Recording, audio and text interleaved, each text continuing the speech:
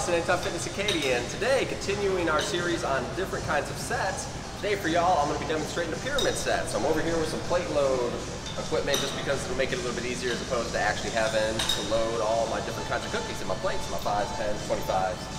So, first off, I'll be doing a tricep extension so I can stay upright and still talk to y'all. So standing nice and tall, doing my tricep extension. I'm starting down at relatively a modest weight, so I'm to start low, and then I'm going to work my way up. So also, it could be like an ascending ladder set. And again, I would do a set, and I'd work my way back up. And again.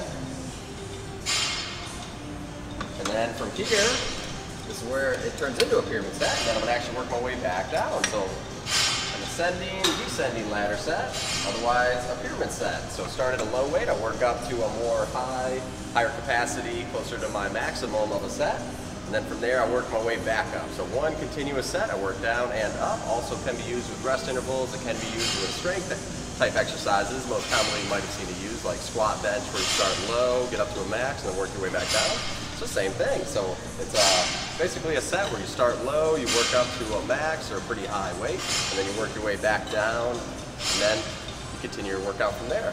Next week, we'll be summing up all the sets that we've done so far. I look forward to seeing you. Hashtag Trainer Tip Tuesday. Have a good one.